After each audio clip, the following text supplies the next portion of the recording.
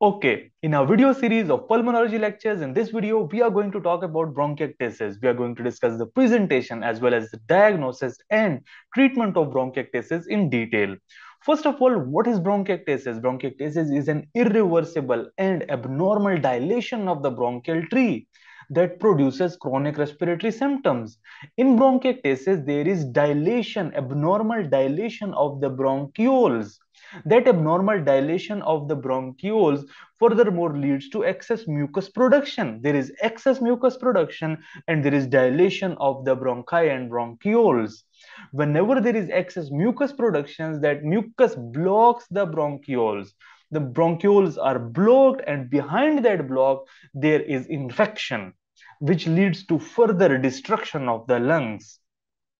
This is a picture showing healthy bronchi with slight mucus production, with normal mucus production. In this picture, there is excessive mucus production, increased mucus production. Therefore, the patient will have chronic cough and with chronic cough, there will be excessive mucus production in bronchiectasis usually there is a local host infection infection like tuberculosis aspergillosis and that tuberculosis or aspergillosis infection destroys the lungs or there is inflammation inflammation as it occurs in cystic fibrosis Kartagener's and cystic fibrosis the, the mucus secretions are thick and those thick mucus secretions block the uh, bronchi and whenever there is block there is infection behind it and there is destruction of the bronchi and bronchioles. Destruction of bronchi bronchioles leads to inadequate clearance of these secretions, which further lead to infections. A vicious cycle begins.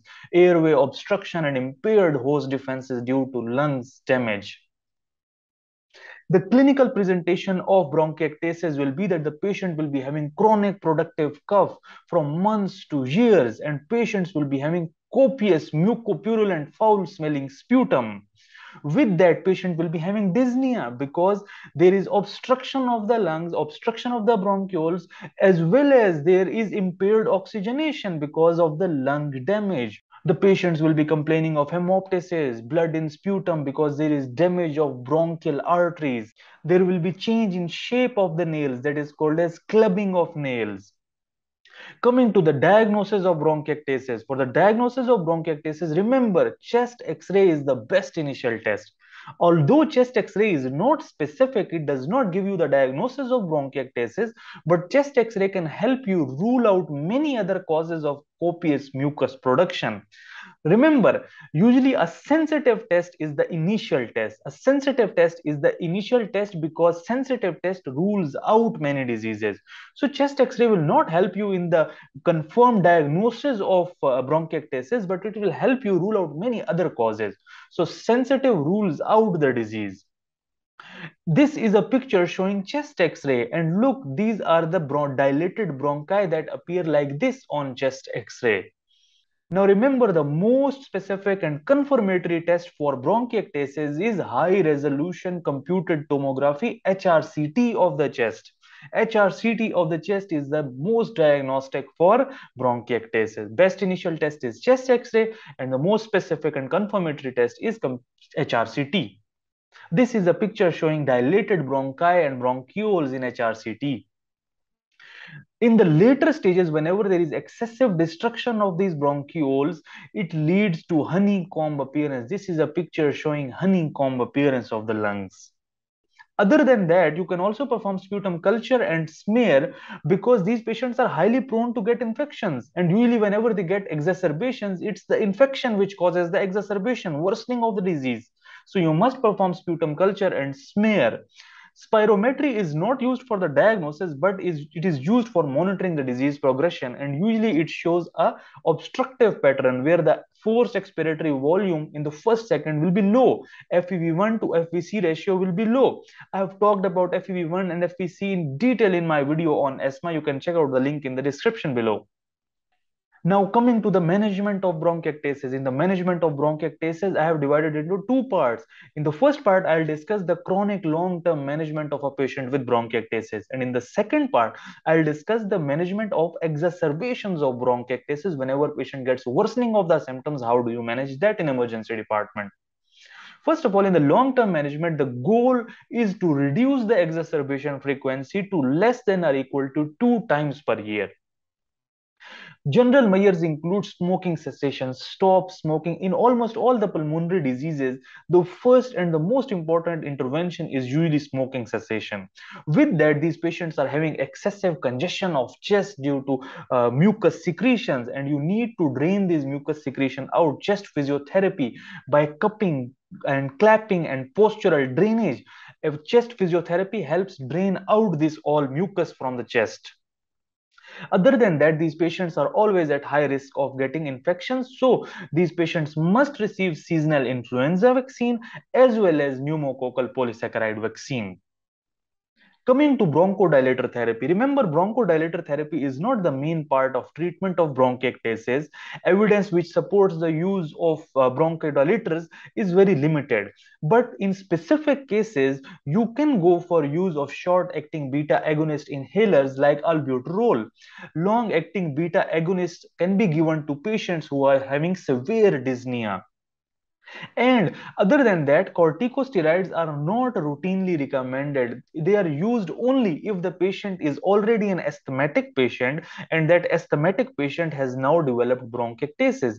Remember, bronchiectasis is usually developed in the patients who already have some existing diseases, some infections, some inflammations, either TB, either aspergillosis, either uh, chronic asthma. These are the patients, if they are not managed properly, the chronic destruction of the lungs leads to formation of bronchiectasis.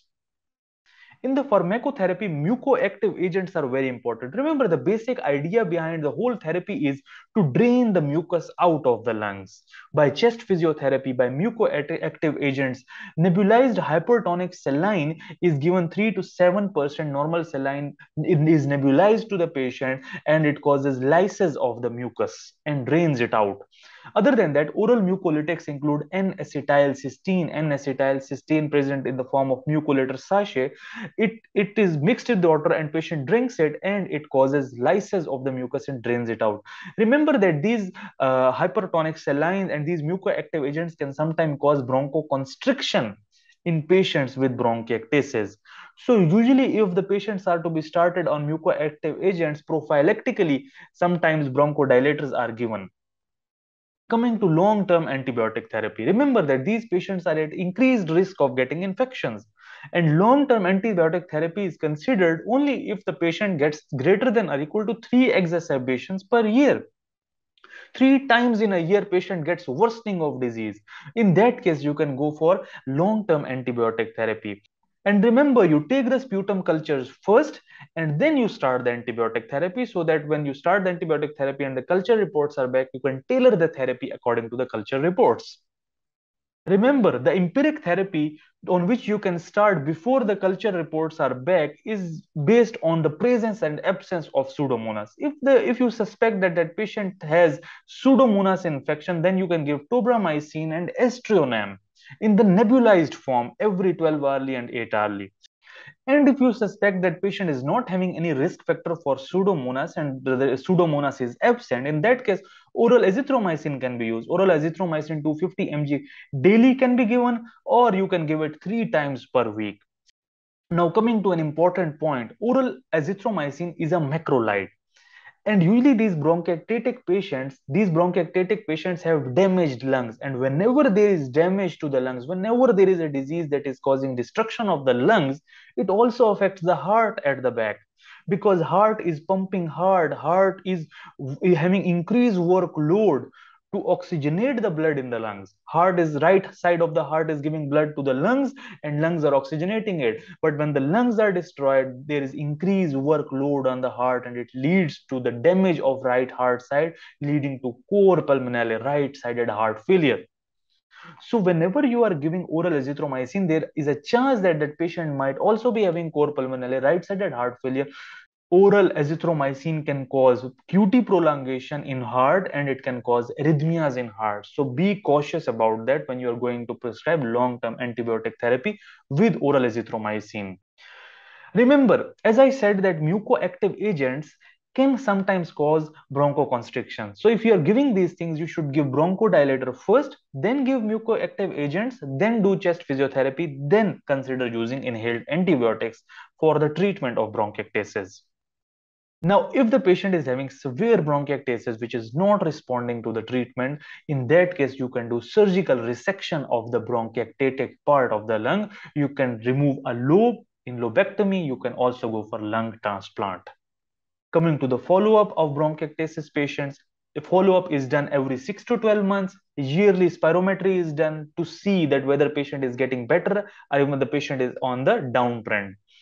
Sputum cultures are done 6 monthly or 12 monthly depending upon the patient. And you also perform ECG, echo, because as I said that these patients are at increased risk of right-sided heart failure, cor pulmonale. CT chest with contrast is performed. Now, if the patient is a diagnosed case of bronchiectasis and all of a sudden he comes to emergency department with high grade fever, with severe dyspnea, with very bad wheezy chest, in that case, that patient is having exacerbation of bronchiectasis. Some infectious agent has caused exacerbation of the symptoms. In that case, you need to give oxygen if the patient is hypoxemic. You need to straight away give the mucoactive agents. You obtain the new sputum cultures.